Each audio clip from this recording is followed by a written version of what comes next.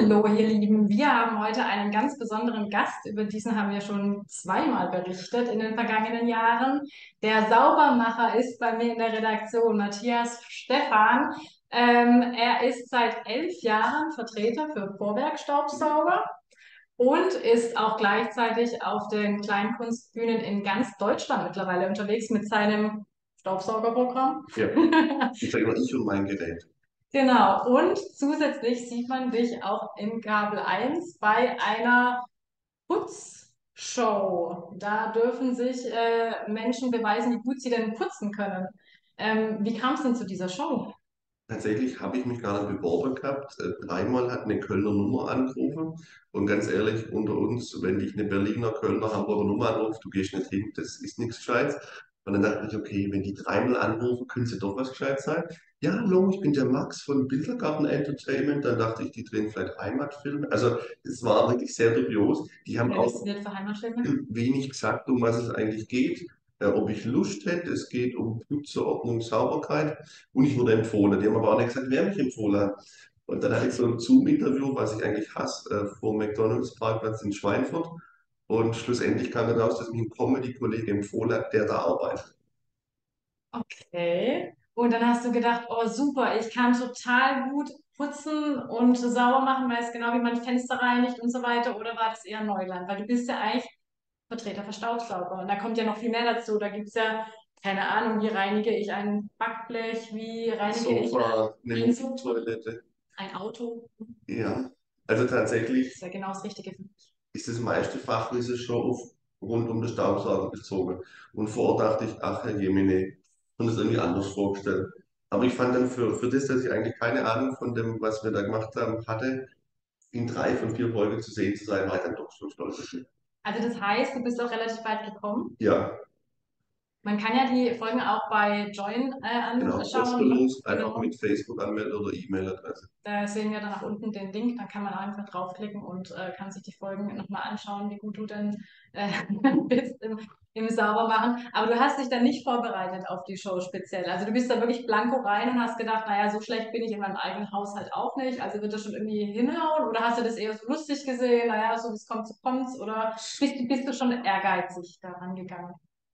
Also ich habe mich dann vor Ort, wo ich dann wusste, um was es geht, schon angestrengt. Ehrlicherweise habe ich auch ein bisschen um mich rumgeguckt, wie die anderen denn putzen, weil das war von Henkel gesponsert und dann dachtest du halt, ja klar, da steht jetzt das Putzmittel, wo drauf steht, das ist für das wie im Supermarkt halt. Und das war dann mit Hausmittelchen, mit, äh, da stand Wodka, Milch, Eier, Oh. Backpulver, Zitrone. Ich habe noch nicht so geputzt. Wir haben dann zum Beispiel gegoogelt, wie man nach Knicke einen Tisch deckt. Also das wüsste man jetzt, das kam Also du nicht dran. konntest ähm, Google nutzen. Nee, das war vorher. Also Ach so, du hast mir dann okay. immer vor der Show so, Mensch, was denkst du, was wir heute putzen müssen? Ah, da lag ähm, ein Teppich rum. Ich habe da eine Rotweinflasche, die haben das quasi vor Ort verschmutzt. Und dann haben wir immer so geguckt, da draußen stehen doch Mobiltoiletten, die kommen bestimmt dran, mir ist es gar nicht aufgefallen. Oder äh, dahinter stehen Backöfen so abgedeckt und ah, da ist ein Fensterraum. Also das war immer so ein Rätselraten der ganze Zeit. Und deswegen durfte man auch nicht allein aufs Klo gehen, weil man hätte ja da was sehen können oder was hören können, was die so besprechen für die nächste Aufgabe. Und gab es dann schon Sachen, wo du hinterher gesagt hast, das war jetzt ein totaler Erkenntnisgewinn, das habe ich überhaupt nicht gewusst, ähm, dass irgendwas, also dass es da schon so Tricks und Tipps gibt? Rasierschaum bei Flecke auf dem Sofa. Echt? Oh, das ist interessant. Und generell eher weiße Zahnpasta, da gab es auch blaue. Und ich glaube Eier, weiße Zahnpasta für was? ich glaube auch bei Flecke. Vielleicht bei den Turnschuhen Zahnpasta. anscheinend. Bei weißen Turnschuhen weiße Zahnpasta. Ja. Okay. Gut, da war eine weiße Grillschürze, kein Mensch zu Hause grillt mit einer weißen Grillschürze. Hm. Und da waren auch, also Bei mir weißen T-Shirt.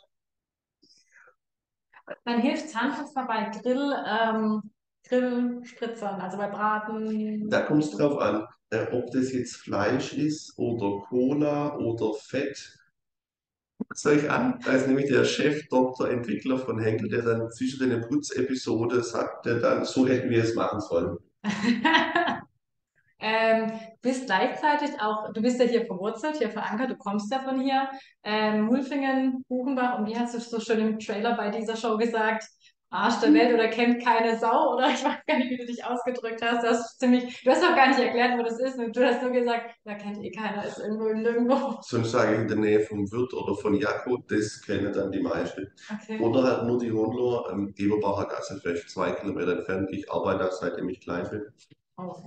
Und alle beim nächsten Eberbacher Gassenfest, ob sie dich da finden. Und Vorwerk ist nach wie vor noch total im Trend. Zwischen Herbst und Weihnachten könnte ich immer 20 Thermomix verkaufen, was ich aber nicht darf, weil ich nur Staubsauger verkaufen kann von Vorwerk. Und gestern wurde ich zum ersten Mal auf dem Friedhof auf Thermomix angesprochen. Das war leicht skurril. Thermomix ist ja das totale mega Trend-Ding seit den letzten Jahren und Jahrzehnten. Das Also, iPhone für die Küche. ja, genau, genau. Also ich kenne so viele, die den Thermomix haben, die drauf schwören, wie beim iPhone auch. Auch ich habe einen Thermomix.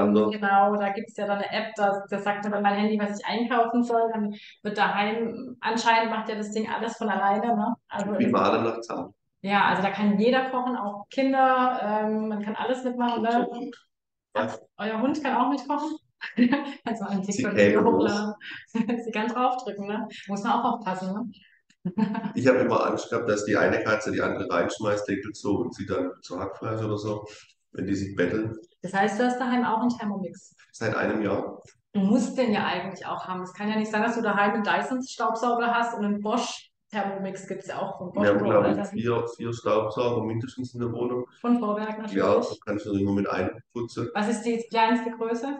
Die So. größte Größe? Die längste Größe? Ähm, das ist sehr lang. Ähm, hätte ich gerne alles hertragen. Nee, ich wollte jetzt gerade sagen, ich habe eigentlich darauf gewartet, habe mich so gefreut, dass diese ganzen Geräte bei uns hier Wir landen. machen bald nochmal ein Video nur mit Ich Staubsauger. nicht gesehen. Ja, das nächste Mal muss ich die mitbringen. Also beim Tiger ist das Ohr, glaube ich, bis zu drei Meter lang mit Schlauchenrohr. Ja, ich habe in Karlsruhe auf der Bühne, als du gestanden bist, hast du, äh, das, das habe ich halt angeschaut, äh, da hast du, ich weiß, war das der Tiger? Animalisch. Wer braucht so ein langes Ohr? Äh, hier am Südhang in Königsau, ähm, die Villen, äh, die brauchen das. Aber so ich habe jetzt gedacht, du sagst das gleiche Namen. Nein, nein, ich, ich sage immer so ähm, anonymisiert Herr Müller, Herr Schmidt, aber der Name liegt sehr oft in der Kutsche. Aber wer, wer braucht ein 3-Meter-Rohr? Also im Treppenhaus, wenn da irgendwo oben die Spinne Wand da hängt, oder halt wirklich hohe, Ach so, oder hier- hohe Räume. Genau. Im Büro ist 3-Meter-Rohr. Ja. stimmt, hier könnte ich so ein 3-Meter-Rohr. Also so eine Verlängerung kostet nur 25 Euro, günstiger, wie wenn dann die Frau von der Leiter fällt oder so. Ist auch interessant, ne? Die Frau von der Leiter fällt. Weil es macht ja kein Mann. Ich rufe oft Altbrüder an. Ich habe keine Ahnung, Herr Stefan, ich weiß, wir haben einen, aber weiß nicht, ob wir was brauchen. Männer sagen immer, wir brauchen nichts, aber die haben keine Ahnung, weil Aber dann ist doch immer noch das klassische Rollen, die klassische Rollenverteilung gibt es noch. Also du Ja. bist ja unge du bist halt ein Mann, aber eigentlich machen es wahrscheinlich auch viele Frauen eher muss zu. Hause putzen seit Jahren. Ja, klar. So. Aber echt alleine oder Ja, es das? heißt, du verkaufst die Dinger, das ich nicht. Aber deine Frau ist mir total sympathisch. Okay. Aber oft ist es ja so, dass diese Rollenverteilung auch vor allem hier im Ruhekreis schon noch ähm, Bestand hat, oder? Ja. Ne, ist so. Das eigentlich, da hast du keine, du hast nicht zehn Männer da sitzen und zwei Frauen bei deinen äh, Versammlungen. Zehn hast, Frauen. genau, Ja. weil es immer noch so ist. Und wie viele von den Frauen arbeiten noch zusätzlich? Fast alle wahrscheinlich. Ja. Das ist halt Ja. das Krasse, die gehen schaffen, äh, Kinder, jetzt so mit meiner Cousine Gassi, äh, und Putzen dürfen sie dann auch noch zu belohnen. Sich viel getan in den letzten Jahren. Außer, Ja, das ist echt schade. außer es sind geschieden. Also ich habe bestimmt äh, Wir haben da eine Putzfrau. Genau, 15 Staubsauger zur Scheidung verkauft und zwei nach der Hochzeit. Und die Länder können das nicht dann alles. Aber die haben eine Putzfrau, das ist voll krass. Wer eine Putzfrau? Der geschiedene Mann. Und die Frau, die hat es dann nicht mehr oder kann es nicht leisten. Oder, also da, das ist brutal. Echt traurig. Ja. Ich habe einmal durch eine Frau, ich nenne jetzt keine Namen, in ihre komplette Familie Staubsauger verkauft. Dann kam die Trennung. Ähm, ja, dann durfte ich mich irgendwann zum Glück ihrem neuen Freund vorstellen. Dann haben sie wieder gekauft, Aber der Mann hat den Vorwerk behalten. weil er dann wahrscheinlich bezahlt hat. Oder weil er halt gedacht hat, den behalte ich für meine neue Putzfrau. Du trittst auch im September auf, wieder auf, ne? Ich glaube, es nicht, oder ist es das erste Mal in Simbrexhausen in dem, Zum dritten Mal. zum dritten Mal in dem relativ, relativ neuen Unverpacktladen? Das erste Mal waren wir ausverkauft mit 45 Gästen. Also der Gastraum ist relativ klein, da sind fünf so Tischle, kannst Kaffee und Kuchen essen und trinken. Waren wir auch schon drin, ja. Also wenn du in der Stadt wohnst und der Ausblick auf die Felder ist schon voll idyllisch. Ja, der ist wunderschön. Das ist eigentlich das Highlight dort, ne? Wenn man da sitzt und äh, da schön Kaffee trinkt oder vielleicht auch dein Programm dann äh, sieht und dann dieser malerische Ausblick dort, das ist echt der Hammer. Und wichtig, auch draußen sind Automaten, also auch wenn die zu haben, kannst du da vorbeiwandern auf dem Pfad der Stille. Getränke, Eis, da gibt's alles. Ja, die haben echt tolle, eine tolle Produktauswahl auch. Und äh, das heißt, du machst dann dein, machst du da dein Comedy-Programm oder dein Vorwerkprogramm? Das ist das Schwierige zu kommunizieren. Ähm, früher war ich Freitagabend schon in Geisbach im Sportheim, dann hier im Epilog bei Michael.